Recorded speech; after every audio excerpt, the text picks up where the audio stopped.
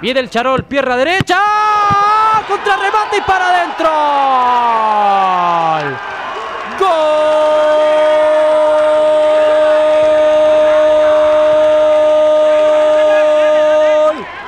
Gol de Alebrejes, gol de Oaxaca. Que tapa pero deja viva la redonda.